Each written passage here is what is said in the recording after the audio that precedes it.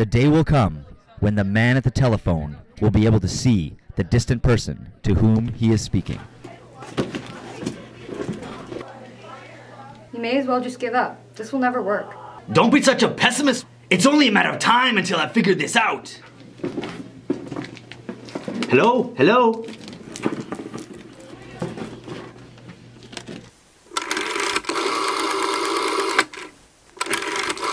Alexander Graham Bell was 23 when his parents moved him to Canada.